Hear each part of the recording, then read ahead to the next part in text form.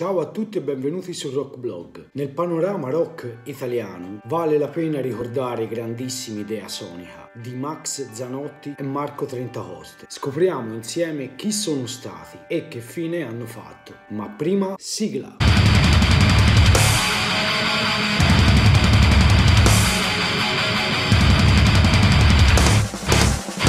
Sarà la particolare voce ammaliante e graffiante di Massimo Zanotti, qualche pizzico intimista che ricordava i Nine Inch Nails, o il rock prorompente tanto caro agli amanti del grunge, ma Idea Sonica sono riusciti a unire diversi sound per creare un ibrido tra l'innovazione e la tradizione della canzone cantautoriale italiana. Attivi sin dagli anni 90, pubblicano il primo LP L'uomo del secolo, prodotto da Marco Trentacoste nel 2001, un album passato in sordina che però getta le basi per il bellissimo Piccoli dettagli al buio nel 2004, con l'entrata nella band in pianta stabile di Marco Trentacoste, in veste sia di produttore ma anche chitarrista e tastierista, poi del bassista Walter Clemente e rimangono lo storico Stefano Facchi, batterista e l'altro chitarrista Francesco Tumminelli e ovviamente Massimo Zanotti. Cosa si può dire di questo bellissimo disco? È come un vestito, dove lo strato superficiale ha l'energia e la potenza del grunge, ma se guardiamo sotto troviamo la delicatezza e morbidezza di un indie rock, con dei testi né banali né scontati, talvolta molto enigmatici, il tutto condito da quel tocco stile Nine Inch Nails che dà un sapore personale e riconoscibile. Perle come il giorno della mia sana follia, con quel riff iniziale vocale carico e potente, oppure la dolcezza di settembre, il rock travolgente di Venere, l'industrial psichedelico di tratti, la sua dente impercettibile o il grunge metal di 0016. Insomma, questo è un album pazzesco. Tra l'altro con il singolo che anticipava l'album, Il giorno della mia sana follia, era inclusa la bellissima cover Teardrop dei Massive Attack. Nel 2006 partecipano a Sanremo nella categoria giovani con il il pezzo Non dimentico più. Il brano verrà incluso nella raccolta omonima uscita lo stesso anno, in cui la band riarrangia in chiave acustica pezzi dei vecchi LP e che vede la partecipazione di Jazz Coleman, leader dei Killing Joke, per il rifacimento di 0016, chiamata qui Betrayal, in cui lo stesso Coleman riarrangia il testo per la sua parte cantata. Dovremmo attendere due anni prima di avere un nuovo LP di inediti